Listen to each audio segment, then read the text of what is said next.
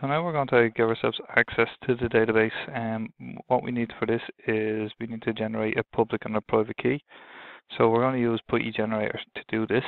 So what we're going to do is just generate a code. You just move the mouse around here for a couple of minutes. Just to, this in the background is generating random numbers. So once we have that now, we want to save the private, sorry, we want to save the private key. We're not going to put a password on this, just for this.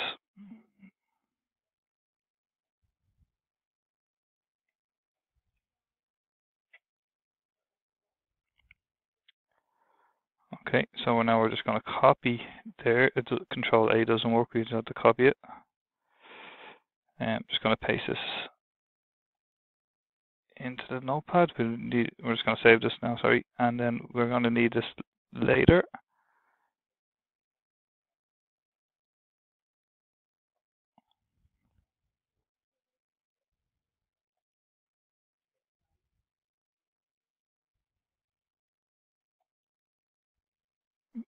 Close this down now, we don't need any more.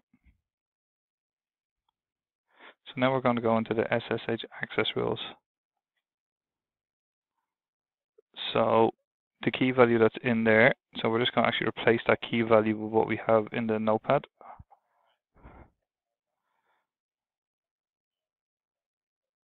Mm, sorry.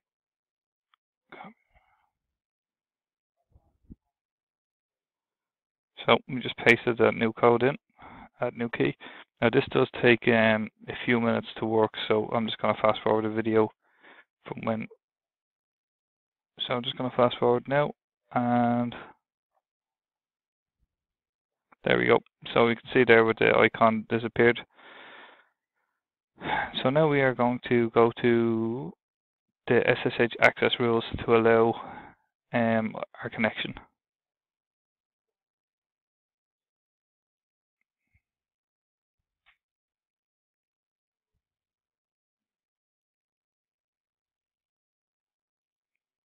So now we're just going to open up port 22 and enable.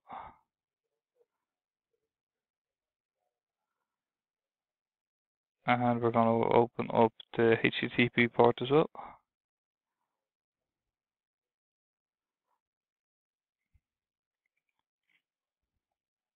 And now finally we're going to open up port 1521